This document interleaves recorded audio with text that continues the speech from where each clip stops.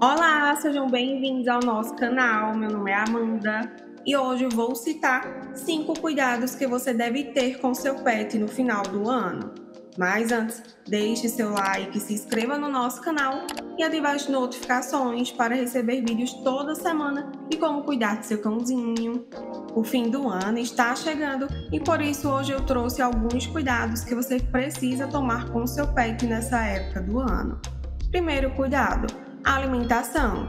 Algumas comidas típicas da época são tóxicas para os pets, como uva passa, chocolate e entre outros. Então, é importante resistir à carinha de pidões que eles fazem. Mas você pode preparar uma ceia especial para ele com coisas que eles podem comer. Segundo cuidado, fogos de artifícios. Muitos cães ficam estressados com o barulho dos fogos de artifício. Tente criar um ambiente calmo e seguro para abrigar seu pet nesse momento. Coloque músicas relaxantes e dê um brinquedo recheado enquanto acontecem os fogos. Terceiro cuidado: calor. Na maioria das vezes, os pets sentem mais calor que nós. Por isso, é importante passear em horários mais frescos, fazer pausas e oferecer água fresca. Quarto cuidado: visitas em casa. Se receber visitas em casa ou participar de festas, assegure-se de que seu cachorro está confortável com a presença de estranhos e não force a interação do seu pet com os convidados.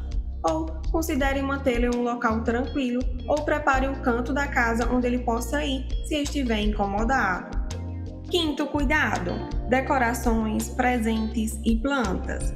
Fique atento para que seu cachorro não coma enfeites de árvore, embrulhos, plantas tóxicas ou cabos elétricos, pois os pets são curiosos e podem acabar ingerindo alguma dessas coisas. Esses cuidados ajudarão a garantir que seu cachorro tenha um final do ano seguro e tranquilo. Me conta, você e seu pet estão preparados para o final do ano? Então foi isso, pessoal. Espero que tenha ajudado vocês.